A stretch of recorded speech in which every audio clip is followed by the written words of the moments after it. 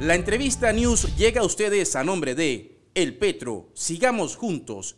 Ministerio de Ecosocialismo, sigamos juntos construyendo la patria socialista.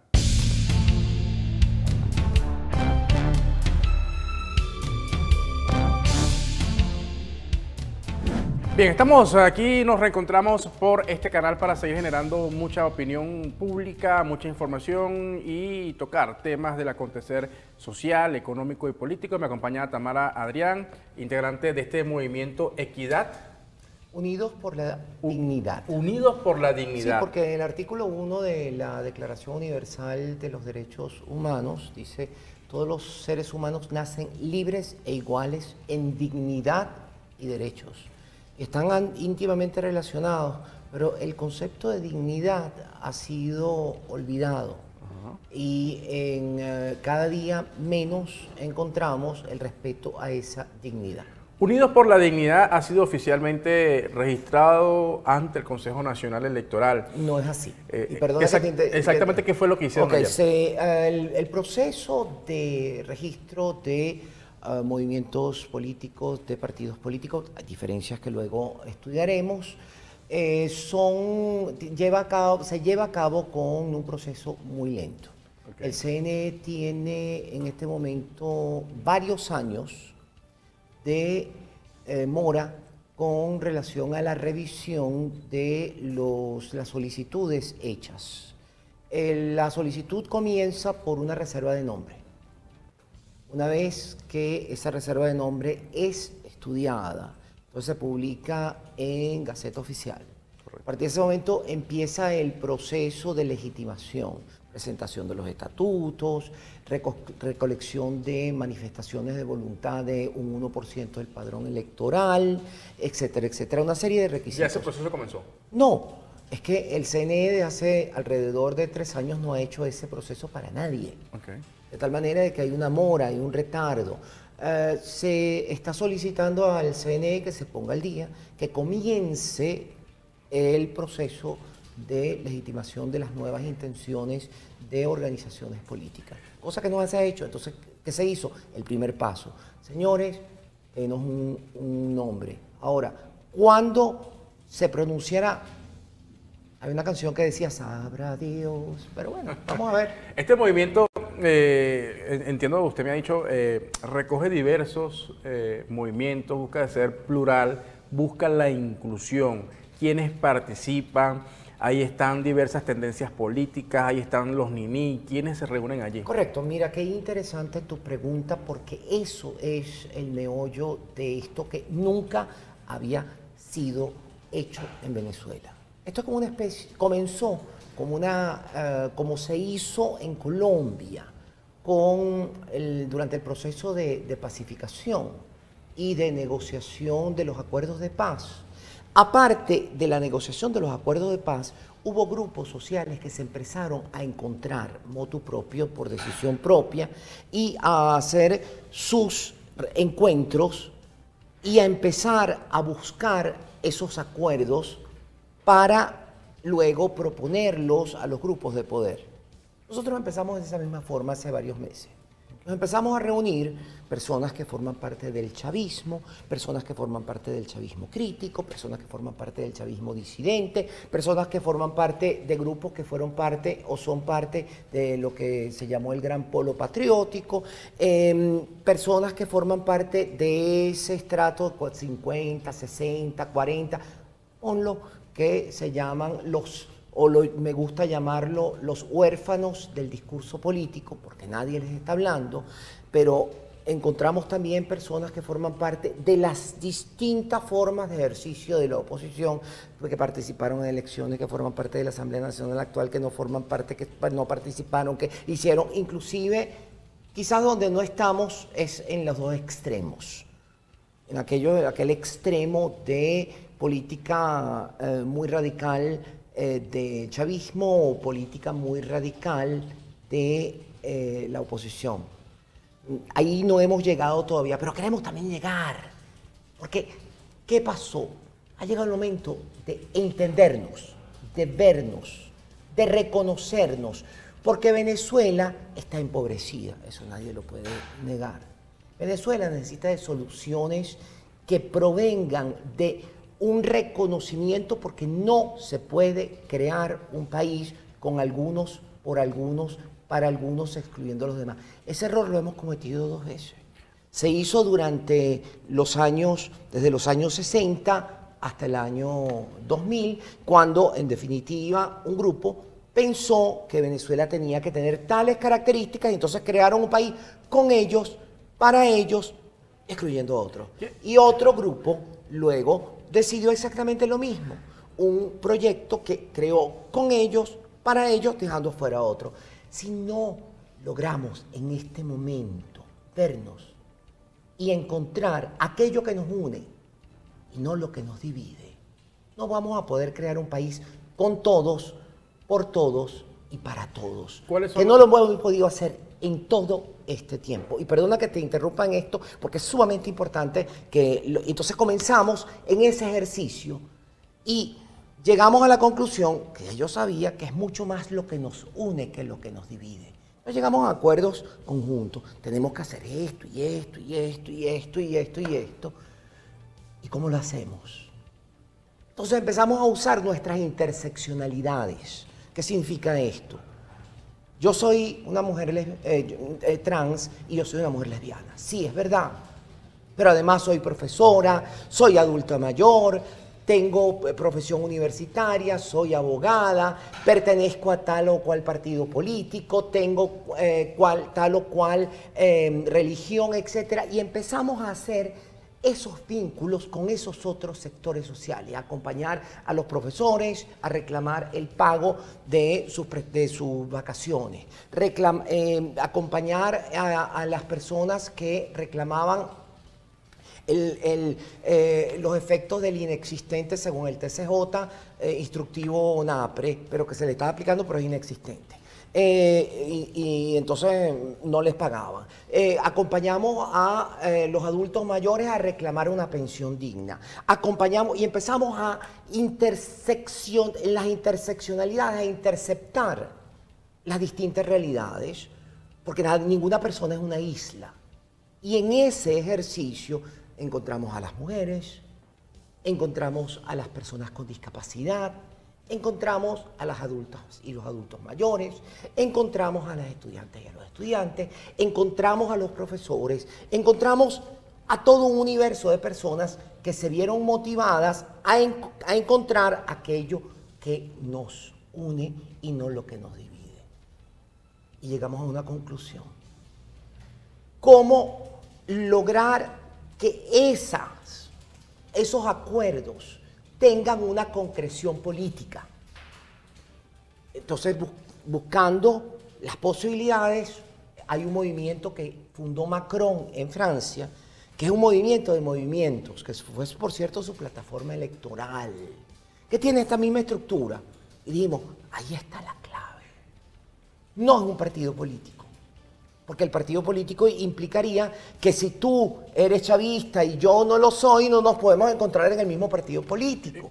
Pero un movimiento que no exige militancia, donde lo que aupamos es la pluralidad de religión, de opinión política, de participación social, donde lo que buscamos es lo que nos une no lo que nos divide, ahí sí podemos encontrar. ¿Cuáles son justamente esos temas? Conversábamos eh, y me hablaba, por ejemplo, de temas que están allí en la, palestra pública, el tema de la igualdad de género, por ejemplo, de la paridad al momento de hacer las postulaciones a un proceso electoral.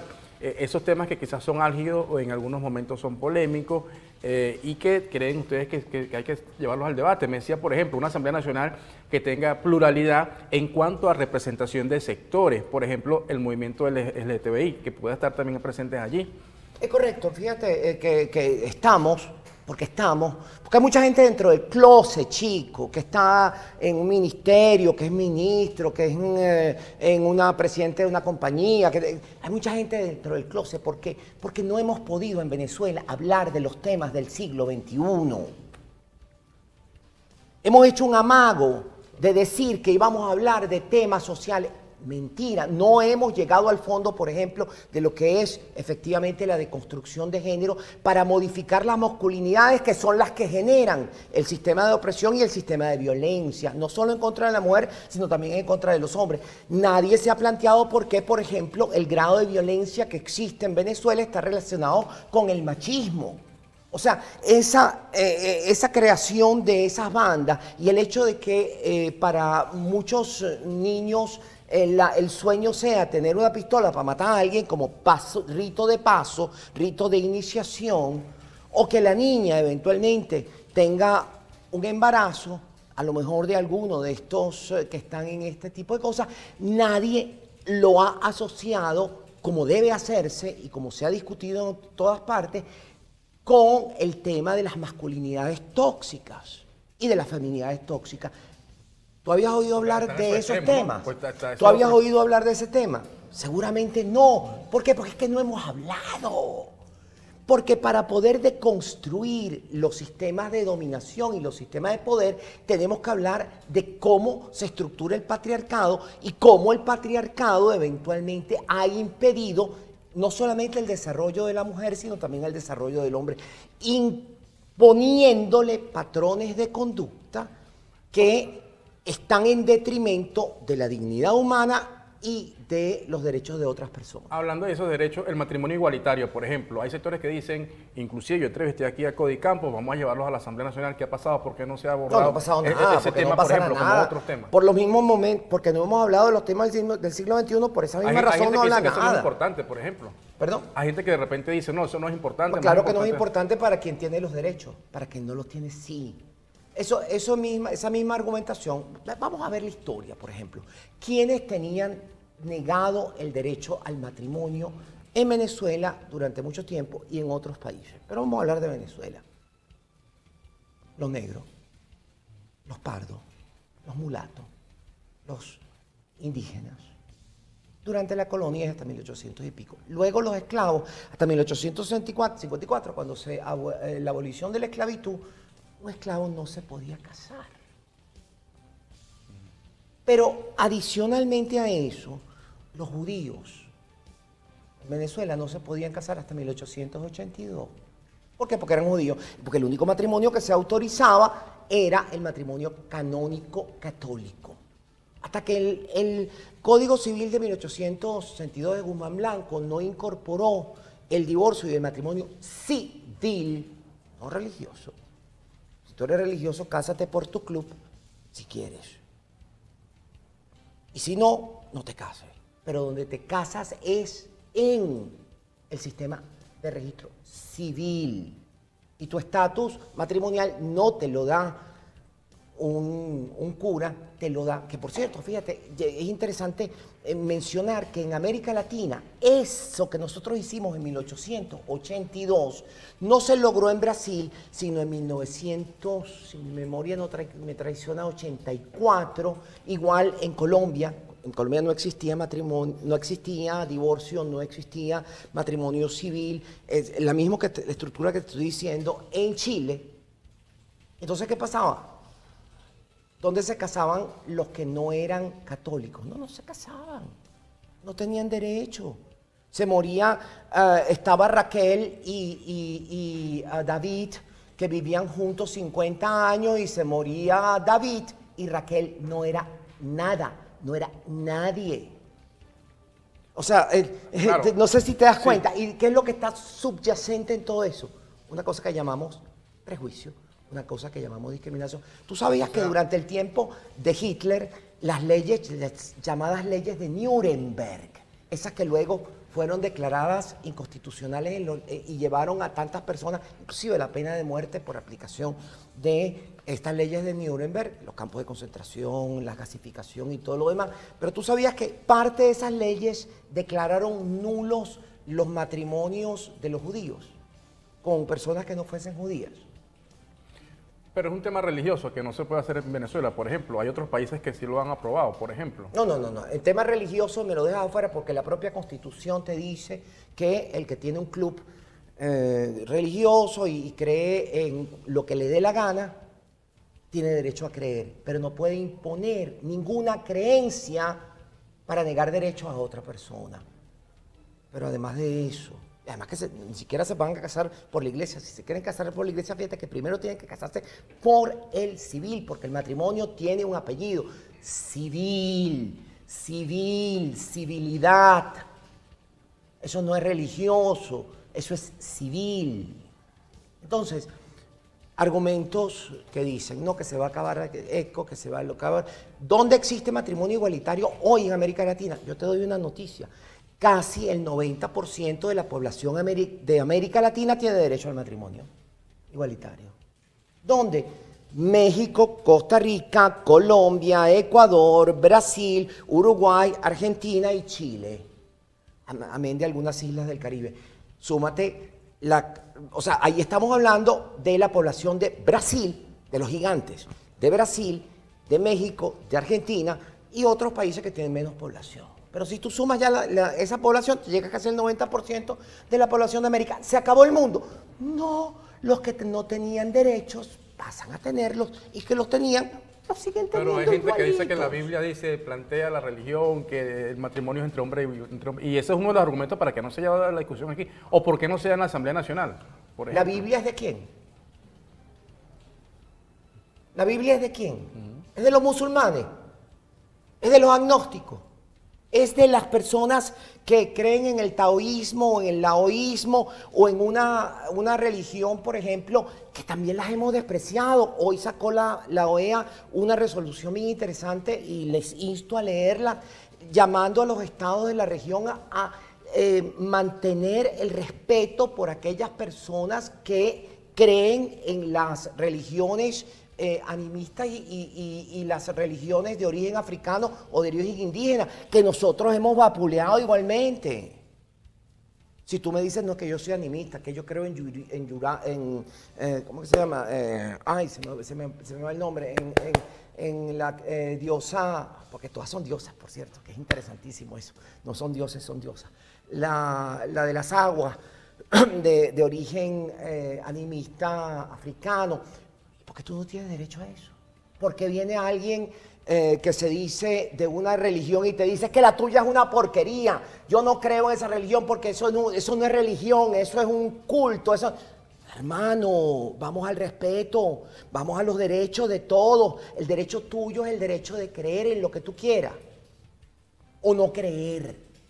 Porque también es un derecho. El derecho a ser agnóstico, el derecho a ser ateo, es igual un derecho. Lo que nadie puede decir es que yo pertenezco a este club, al club, eh, el club de los tal, tal, tal, tal, tal, y le impongo mi regla de mi club al que no forma parte del club. Eso no se vale. Y en la Constitución te lo dice, léela. Nadie puede alegar una creencia religiosa para negarle derecho a nadie, a nadie. Entonces, ok, dentro de tu club, chévere. Tú dices, aquí no se acepta el divorcio y el que, es, el que está divorciado no puede venir aquí, no puede comulgar y no puede venir aquí nadie en casa en la iglesia, ni se puede confesar porque está en un pecado, no sé qué, y si se volvió a casa peor todavía porque eso ya es el de la debacle y si tiene además tres matrimonios encima y cuatro hijos por fuera, olvídate que tú puedes llegar a, a entrar en este club. Tienes derecho porque está cierto, el club tendrá que cambiar, por cierto, porque si no, llegará un momento en el mundo del siglo XXI cuando saldrá el cura o el oficiante del, religioso y dirá, hay alguien aquí, que y lo único que va a oír es hacer el eco de su voz, como está sucediendo en Chile o en España. Tú sabes, por ejemplo, que en Chile el 60% de la población hoy en día se declara agnóstica se declara no creyente, se declara atea. o sea, y en, España es lo mismo de los jóvenes, las personas menores de 24 años, básicamente eso. Entonces, ¿a quién le están hablando? A los que se están muriendo, pana. Están hablando de los que se están muriendo, a los envejecidos. Ahora le pregunto, eh, eh, eh, esos debates sobre esos temas que pueden ser polémicos, como el aborto, como el matrimonio igualitario. Y te lo estoy haciendo polémico. Que no se diga que no te lo estoy haciendo polémico, al propósito. ¿Por qué no se discuten? O sea, ustedes plantean una agenda como ah, movimiento. Pregúntaselo a los que están en la Asamblea Nacional. Usted ha dicho que hay una que hay Pregúntaselo a los que están en, el legislativo, pregúntaselo a los que están en el ejecutivo, porque la iniciativa legislativa puede venir del presidente de la República, porque el presidente de la República no llega y dice, mira, yo quiero esto y no lo o porque no viene eh, alguien que ejerce la, la, eh, el, que tiene la mayoría y dice ah yo quiero esto aquí yo propongo esto y porque no hace por ejemplo en una agenda sectores de oposición hipocresía. O sí lo, o sí lo hace hipocresía. O porque un sector de la oposición no lo hace también eh, si no tiene sino el 4% la asamblea esta del 2020 4% creo que creo que es menos ah 4% tienen 15 diputados, ¿no? Ah, ok, sí, sí, está. Eso es menos del 4%. No, pero digo a nivel de movimientos, a nivel de un debate, pues, en la Se creó una, una subcomisión de, diversidad sexual que no ha podido reunirse y no ha podido hacer nada. Porque está bloquea. Pregúntaselo a Bertuche, por ejemplo. A lo mejor él tiene una, una, una respuesta que yo no tengo. Porque está metido, yo no. Tiene un costo político discutir estos temas en... en... ¿Quiénes creen que tiene un costo político, es súper importante, de verdad, chamo, te las comes. Tiene súper importante esa pregunta, costo político. Hablemos de esa broma. ¿Cuál ha sido la lección de la historia de los últimos 20 años? 10 años ha sido más clara desde el punto de vista de análisis político. Esto comienza a, a verse después de la aprobación del matrimonio igualitario en Argentina hace 12 años, en el año 2010. ¿Qué sucedió? Esa aprobación tuvo lugar justo cuando terminaba la legislatura. Y estaban eh, ya eh, en el proceso de lanzar candidaturas otra vez y tal, qué sé yo. Lección. De los que votaron por el matrimonio igualitario y se lanzaron a la reelección, todos ganaron y ganaron con más votos que los que habían ganado en la primera elección. De los que votaron en contra del matrimonio igualitario y se lanzaron a la reelección, el 50% perdió la elección. Ok, ahí primera alarma. Después vino el tema en Francia ah, con, ay, se me olvida el nombre, eh, que estaba en aquel momento, eh, antes de Macron, antes de, ay, ay, Sarkozy. Y entonces... Eh, ¿Qué pasa? Se plantea la reelección, promete matrimonio igualitario, gana la reelección con más votos que lo que tenía. Vino después Obama, entonces, ¿qué promete eh, matrimonio igualitario en Estados Unidos dentro de su campaña electoral. ¿Qué sucedió? Y ahí sí está, porque los gringos en eso sí son súper acuciosos en ver cuánto perdió, cuánto ganó, cuánto entonces. Entonces, ¿qué fue lo que pasó? Perdió 2%, ganó 10, 8% adicional intención de voto. O sea, eh, tú lo empiezas a ver. Cuando en Costa Rica, en el año 2017, ah, se plantea un tema interesante. La Corte Interamericana de Derechos Humanos estableció en un fallo de opinión consultiva 214 del 24 de noviembre del año 2018 que, uno, las personas trans tienen derecho al cambio de nombre y sexo en toda su documentación por vía administrativa, en condiciones de privacidad, etc. Y dos, que el matrimonio igualitario es un derecho humano bajo la Convención Americana para los Derechos Humanos. Eso lo estableció ese fallo, que además es vinculante en toda la región. Ah, ¿Qué pasó? Eso ocurrió en plena campaña electoral. Y un outsider, un tipo que, es un pastor evangélico, hizo de la campaña de odio en esas elecciones su eh, bandera. Se va a acabar la familia, se va a acabar la sociedad costarricense, los valores tradicionales, esto y lo demás. Busca las redes y verás esa campaña de odio. Ok, resulta que llega la hora de la chiquita y en primera vuelta, sorpresivamente, el caballo que venía de último empieza a correr, mira cómo va corriendo tal y qué sé yo, y sigue corriendo y sigue corriendo y va pasando, no me acuerdo cuál era la cantidad, y pasó a la yegua tal, y pasó al, caballo tal, y pa, mira, ya está. Y eh, final de, de, de película, señores, final de fotografía, tal. Entonces, resulta que llegó de segundo. Va a segunda vuelta. Y a segunda vuelta hace exactamente lo mismo. Que se va a acabar la familia, que no sé qué, que la tal, que los valores tradicionales, que todo. ¿Tú sabes por cuánto ganó eh, la presidencia el opositor que hablaba del derecho a la igualdad? Por 19 puntos porcentuales. Entonces tú me dirás si el miedo es justificado o no, de acuerdo a las cifras que los distintos procesos políticos de la región nos muestran. Bueno, importante, ya muy cerrando, Tamara. Eh, entonces, eh, un encuentro, un lugar de encuentro, este movimiento, eh, distintos temas, el patriarcado, me has hablado, me has hablado de la igualdad en la postulación de las mujeres, equidad de género en la postulación, y este tema. El matrimonio igualitario, el derecho a la identidad de las personas que, por cierto, el CNE ese órgano rector ante el cual fuimos ayer, se ha negado por 12 años a aplicar el artículo 146 de la Ley Orgánica de Registro Civil, con un despliegue de intolerancia horrendo. Eso se llama discriminación. Tú vas por el artículo 146 al registro civil y puedes cambiar el nombre. Yo voy al registro civil y no puedo cambiar el nombre. ¿Cómo se llama eso? Llámamelo tú. Dímelo. O sea, si encuentras, si encuentras una palabra mejor que discriminación, me la dice. Si encuentras una palabra mejor que intolerancia, me la dice. Pero el CNE sigue insistiendo en no permitir. En Venezuela, ¿tú crees que hay discriminación? Por, Absolutamente. o sea, hermano, vamos a hablar de racismo. Ah, no, que decimos que aquí no existe el racismo. Chamo. Que no lo tengamos en los niveles que existe, por ejemplo, en otros países donde el grado de mestizaje es menor. Porque nosotros tenemos una maravillosa ventaja competitiva, nosotros tenemos 96% de mestizaje. Tenemos un 1% de indígenas, un 1% de afrodescendientes, un 3 o 4% de lo que llaman blancos puros, que no se sabe qué carrizo es, y el resto somos lo que somos. Café con leche. Más leche, más café, más indígena o lo que sea, y eso presenta una ventaja. Pero queremos decir con eso que no existe racismo. Estás negando la realidad.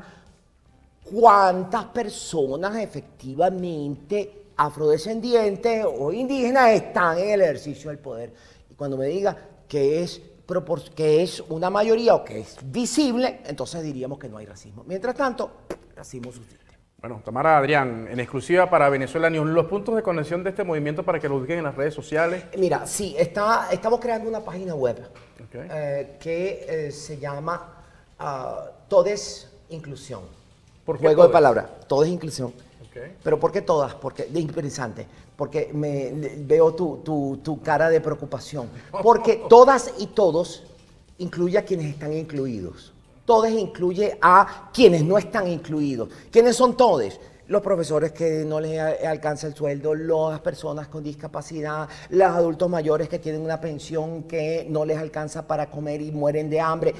Esos son los todes. Las personas LGBT, las personas, esas son las todes.